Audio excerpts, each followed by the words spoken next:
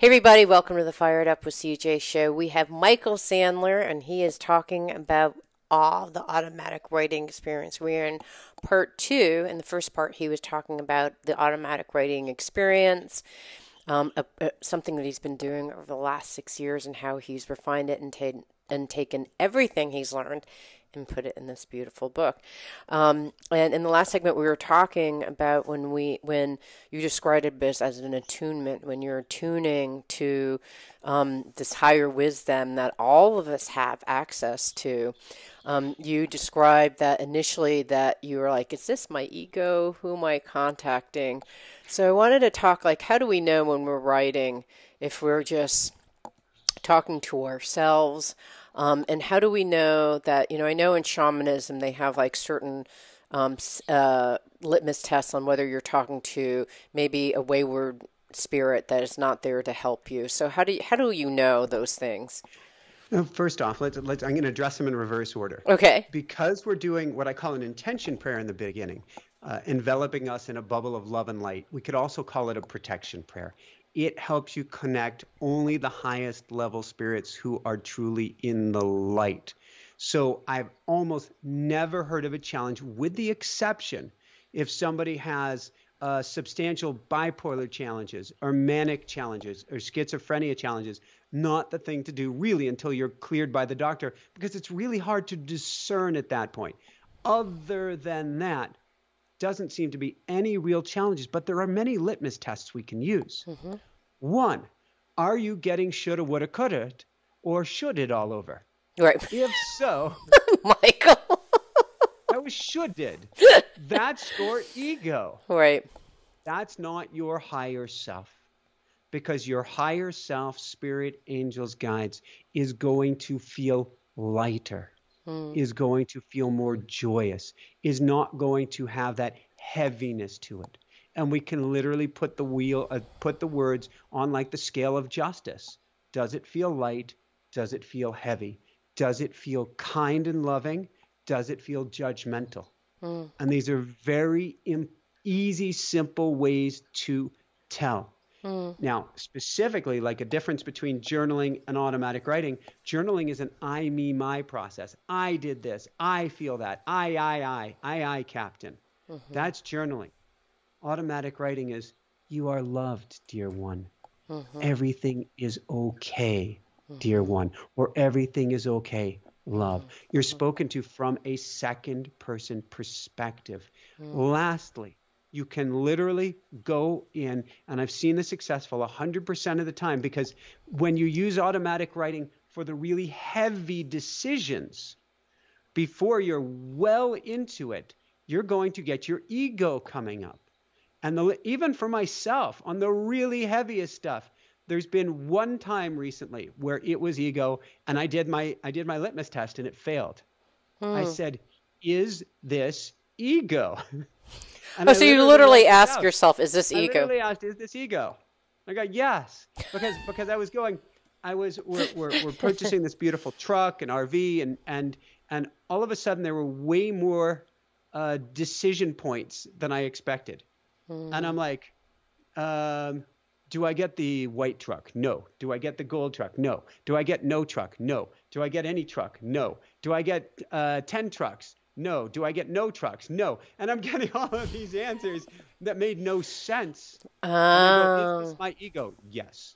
Ah, interesting. So you almost could tell by like if there's kind of it goes this way, that way. That's one of that's how you knew. And I also like how you just ask, "Is this my ego?" And and at least what I've been told in my transmission work is that it cannot lie. Like if you say, "Are you?" It has to tell you the truth, and it's like yeah, I, I am your ego. it's it cannot lie. Every single time, busted, guilty, and and then you have a choice. There's some ego uh, exercises you can do, and you can work with ego, or you can say, let's call it good for now. and so the question is, is when you do have, you know, when you do have those kind of wayward, you know, it's it's a, you know, maybe you couldn't get grounded and focused enough um, is it best to just discontinue doing the automatic writing experience or like take a break? What would you recommend if you're like, I'm not getting anything or it's just mm, not working for me? take a break or do it another day. To me, there's no such thing as a bad automatic writing session because it's all an attunement. It's all helping you vibrate at that higher level. But if we put attachment onto it, it sounded like the concept of technically there's no such thing as a bad meditation. Any time on the mm-hmm. cushion is good right. if you don't attach to the outcome. Right. Or you can freak yourself out. Oh, that was such a terrible meditation. Ideas were coming. Maybe that was actually exactly what you needed. But the, since this is a practice, we can either call it good for the day, which is probably what I'd recommend, or if we need to, come back later in the day after you've gotten yourself more grounded. And because what I teach in automatic writing is to do it first thing in the morning or last thing at night when the rest of the world is sleeping. I'm pretty sure that session that I had was more of a midday thing when we're plugged into the field of worry and concern of everyone around us, mm. which you can do after you get good at it, but come back to it a different time of the day when the rest of the world is quiet. Uh, okay, so the question of when, when um, that you address in the book is, you know, early afternoon. It's really, and, and you have several different sections in your book talking about distractions, where they be mm-hmm. electronic distractions, human distractions via your pets, animals, um, roosters for people who own those, um, children. Yeah. I'm only joking, Michael, for those who don't know me. Has two cat three cats, a rooster? Three cats and a rooster, yes. Okay. So whether it's that and, your and lovely wife Jessica before my rooster time. God bless daylight saving time. he gets about a minute before 5:30 now, which was 4:30, which gives me an hour, hour and a half to write. Beforehand, I had to like frantically go at it because he was going to be up at 4:30. So that's the time that you do it, and at night because that may be actually the most quiet time in your house. See, for me, if I woke up, if I did it at night, I'd fall asleep. It'd be, it would just be kind of a draggy kind of experience. So I assume it just depends on whether you're a night person or a morning person, um, which is the better. And what have you found through talking to your clients and people who've gone through the process? Majority benefit by doing it in the morning because you attune, you get to that higher vibrational state, which carries you throughout the entire day. Mm-hmm. Now, for night owls, no pun intended, or people who are st- stuck working at night or are shift workers, and, and all my love in the world because they do the most important work, uh, then do it at night but then reread it first thing in the morning when you get up. Mm-hmm. So I call it an automatic writing sandwich if you write in the morning, you're attuned throughout the day, you start to fade by evening, reread it before you go to sleep, you get to a higher vibrational state, fall asleep in that state.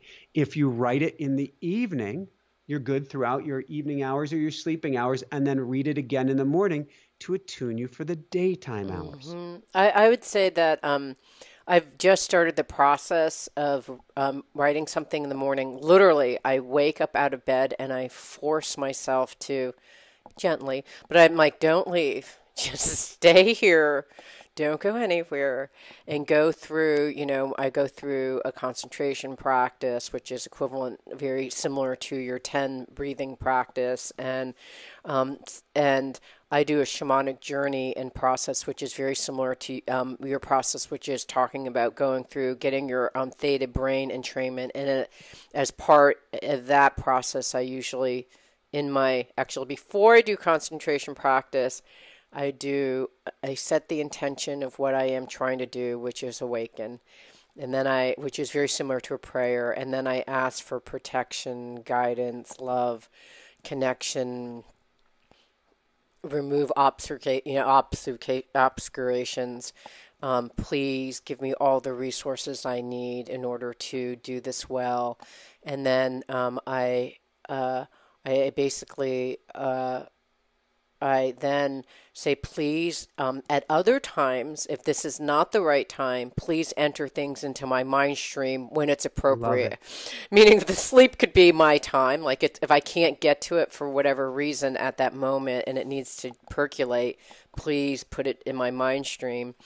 And then um, I imagine like my um, retinue is in the Buddhist, they call it a retinue. I imagine just a field of Buddha surrounding and smiling and wow. and being happy. So that's kind of my my um, version of, of what you know a prayer, an invocation, um, a meditation. I do my shamanic journey, which has a beat that gets you into the theta brain state. Um, so I had, and I call them my retinue. So it's very um, similar process, and I do it in the morning. And um, what I am amazed, and what I just started doing, um, was I start reading the stuff that I got in the evening, and in the morning, sometimes I get things. What I'm finding is so curious is I get things in the morning, and they mm-hmm. make no sense to me. You know, they're talking about relationships. Be careful about you know, something about your relationships. You may have some hardships. And I'm like, I have no idea what this is talking about. I'm trying to interpret it. And then I have an argument with my husband later that day. I'm like, oh, this is, and then I'll reread it and go, ah, I was, so what, what I needed to know.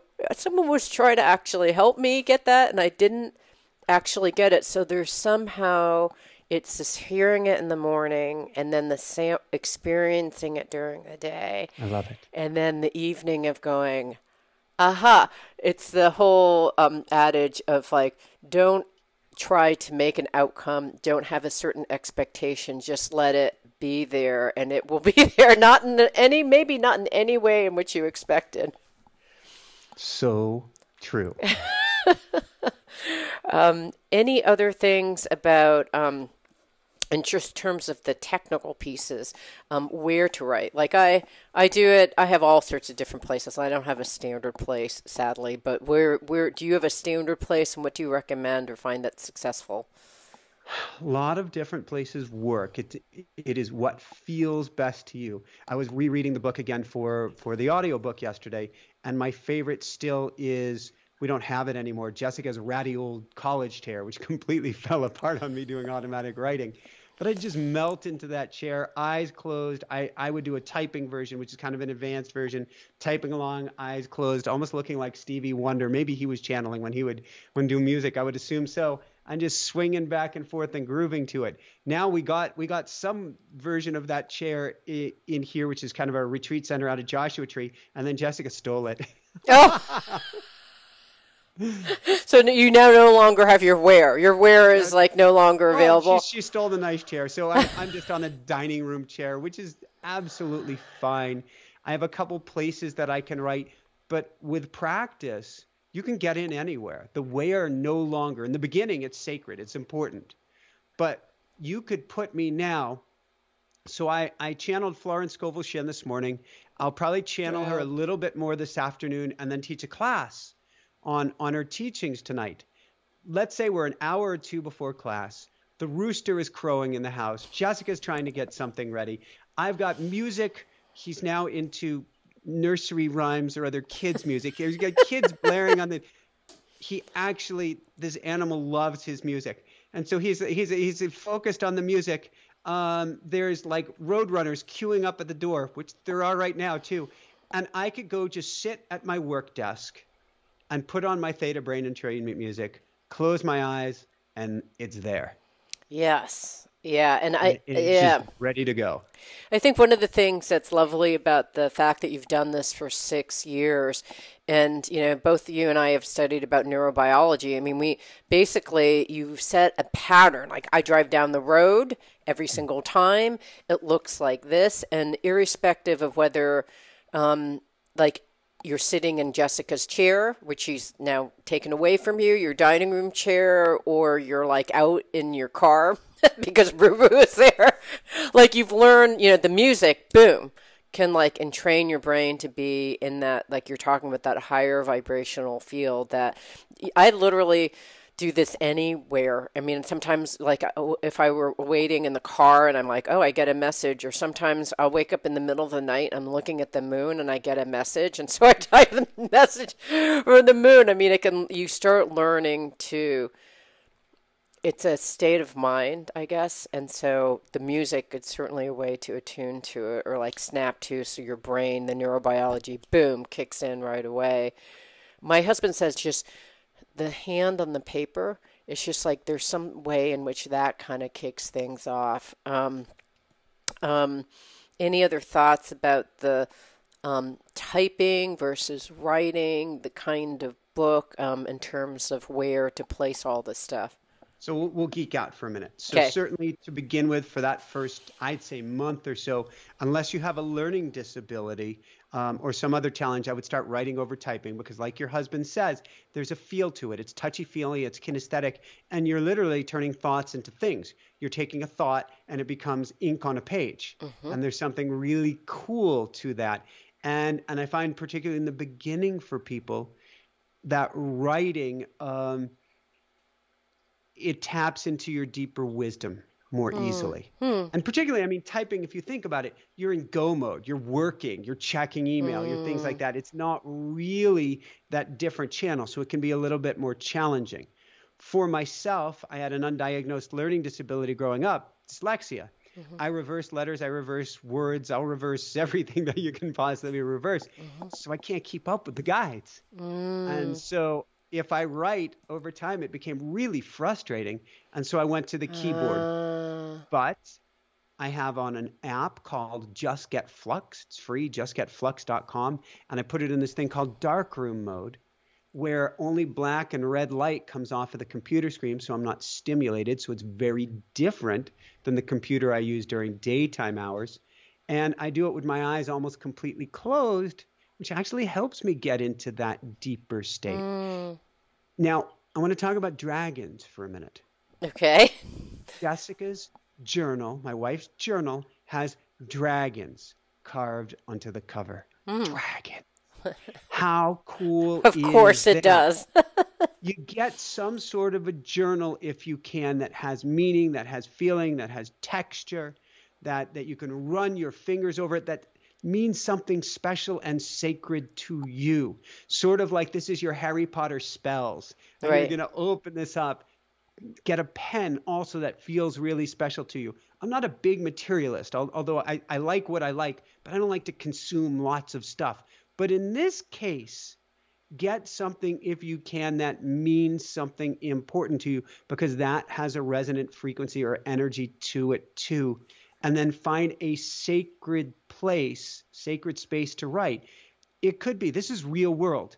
So it could be um, going into the kitchen to write. It could be going into the bathroom to write. It could be going in a closet to write, or under your stairs to write, or the the the car in the garage to write, or if necessary, even your car out on the street to find a quiet space. Now that's a hard one because there are people walking by, perhaps but find a sacred zone to go in and make this ritual each and every day go to the same place at the same time, which makes it easier to step down into that sacred place.